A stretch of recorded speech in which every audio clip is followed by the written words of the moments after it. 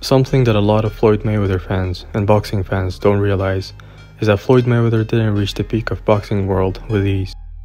He trained hard and struggled throughout the early years of his career so he could end up with the perfect 50 win and 0 loss record.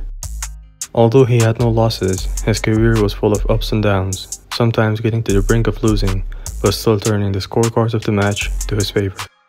He got hit, fell, bled, but still got up and fought to secure his legacy. In this video, we will be checking out 3 of the matches that he almost lost, but still proved that he knew the sweet science of boxing better than anyone out there. The first fight we will be checking out is Manny Pacquiao versus Floyd Mayweather. First up, we have a fighter that had owned 8 boxing belts from 8 different weight divisions. He was fast and is considered to be the best southpaw boxer of all time. Pacquiao came in confident to the match, swarming Floyd with loads of punches from different angles, most of which he threw in bunches and combinations. But as good as he was with his speed, he didn't think through how to pierce Floyd's defense and make those punches land. Either way, Floyd threw lesser punches but had more of them landing and making damage. In the viewer's eyes, Pacquiao did very well as he threw the most punches in the match. He himself thought that he was dealing damage to Mayweather, but in reality, very few of them made contact. Mayweather used his countering abilities very effectively after he knew Pacquiao didn't have a plan on how to pierce his defense. This meant he would set traps for Pacquiao to jab so he could parry that jab and counter with a jaw-breaking cross.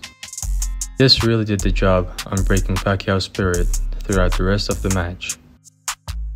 Although Pacquiao was a fierce fighter and could handle hard blows, this didn't mean he wasn't losing the rounds. The judges agreed to give most of the rounds in favor of Mayweather. This meant Pacquiao only toppled Mayweather in 2 of 12 rounds, and the rest was given to Money Mayweather. Eventually, the stats clearly suggested Mayweather as the winner, which led him to an unquestionable victory. The second fight that we're going to be checking out is Mayweather versus Marcos Maidana. Maidana's best approach to Floyd's deadly jab was sliding it up and parrying it with his gloves.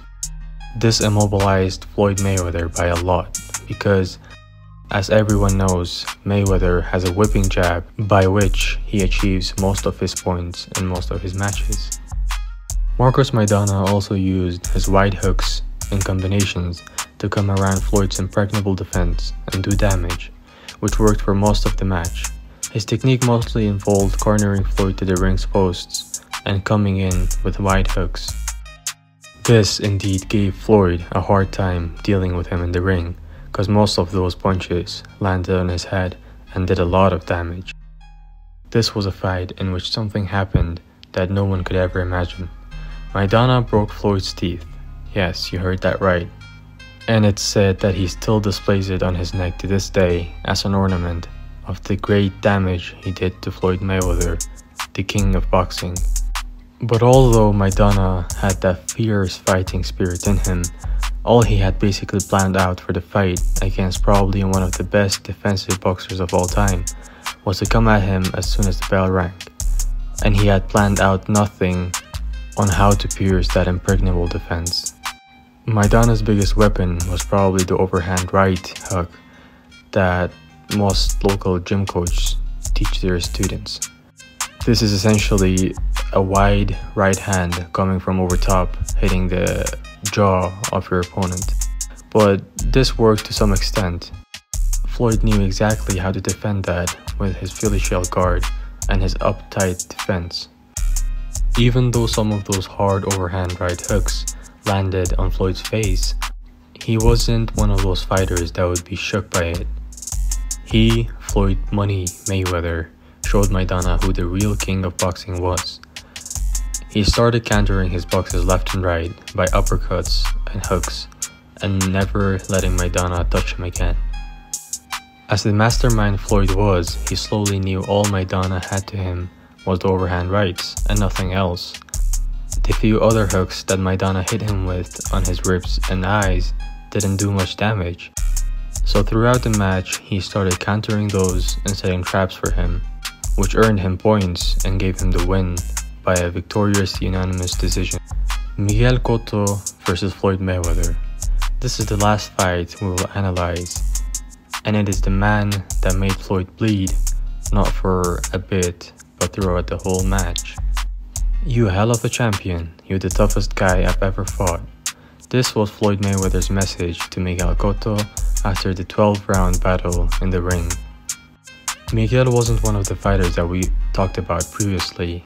He didn't only have a plan while coming in the ring, but he also had the best boxing fundamentals out of all of them. This essentially meant his footwork was on point and his guard was almost unpierceable. A wise boxer once said, doesn't matter what your attack plan is, you will only achieve victory once your defense isn't down while attacking. Miguel Cotto had his chin tucked and his right hand always protecting his chin when he launched his attacks on Mayweather. He also made the man that doesn't bleed that easily have a nose flushing out blood for almost half the match. Floyd's biggest mistake in this match was that he didn't learn from his lessons five years prior. I'm talking about his match versus Oscar de la Hoya, in which he almost got destroyed with his jab.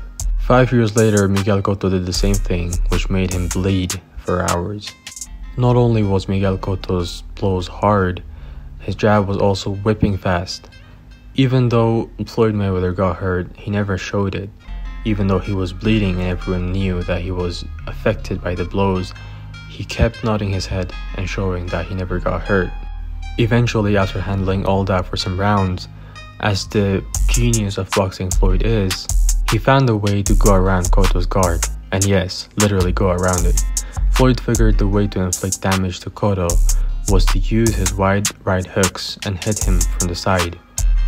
He set this up by confusing him with a straight jab, pulling his guard to the center and coming from the side with the looping hook.